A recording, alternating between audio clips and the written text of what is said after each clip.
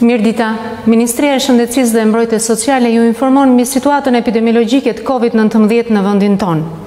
Situata paraqitet serioze, ku vijon të ketë raste të reja të identifikuara nga gjurmimi dhe hetimi epidemiologjik, si dhe qytetarë që kanë nevojë për hospitalizim në të dy spitalet, Covid një dhe Covid dy.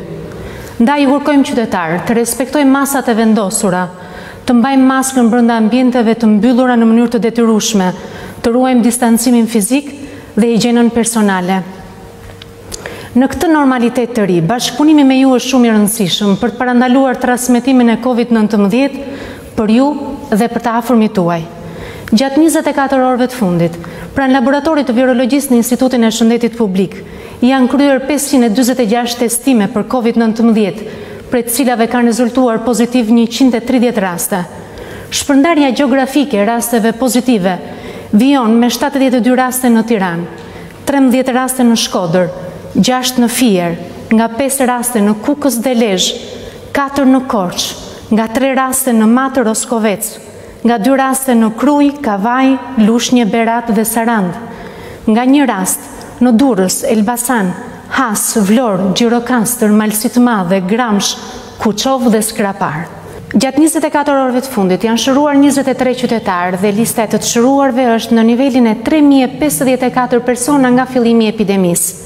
Aktualisht në Spitalin Infektiv dhe Shefqet Ndroqi po trajtohen njëqind e gjashtëmbëdhjetë pacientë të konfirmuar me Covid pozitiv, njëzet e tre prej tyre janë në terapi intensive, shtatë raste janë të intubuar.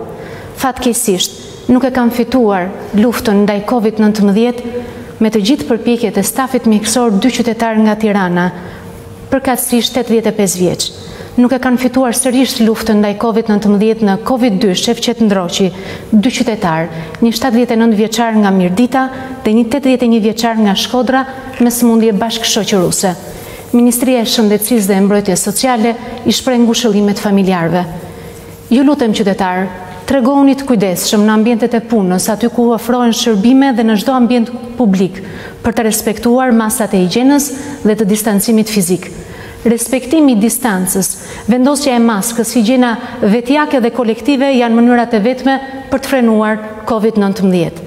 Në rast se dyshoni se jeni të prekur ndaj Covid nëntëmbëdhjetë, izolohuni dhe telefononi numrin e urgjencës kombëtare një dy shtatë, për mjekun e familjes, Konsultohuni me numrin zero tetëqind dyzet dyzet.